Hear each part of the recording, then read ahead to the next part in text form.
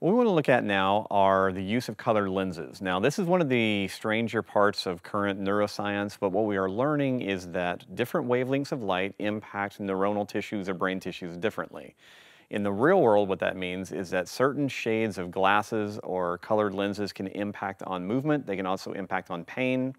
Um, there's a current study going on at Oxford University looking at the use of green light to reduce migraine headaches.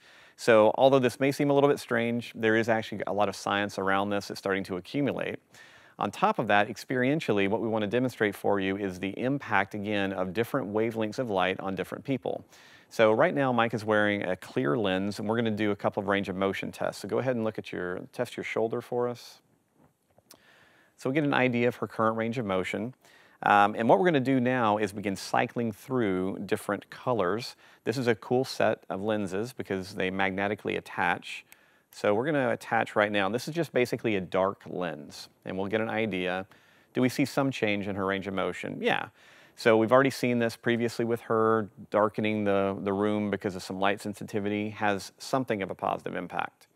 If we pull those off, we're now going to go to a red lens or pink lens. And she'll retest. All right, again, about the same, no huge change there. Pull those off. Now we're gonna go to a darker blue. And this one we actually see that she's getting a little bit better range of motion. Does that feel different to you?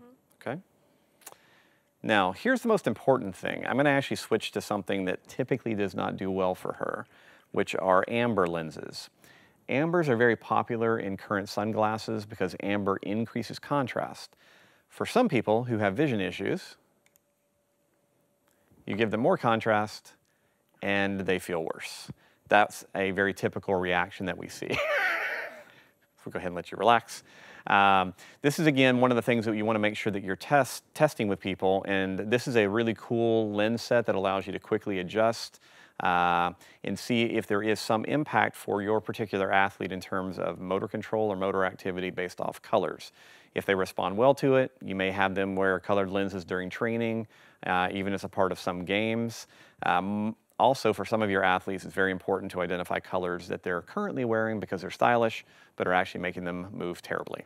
So colored lenses, very, very powerful tool uh, from the neurocentric training perspective.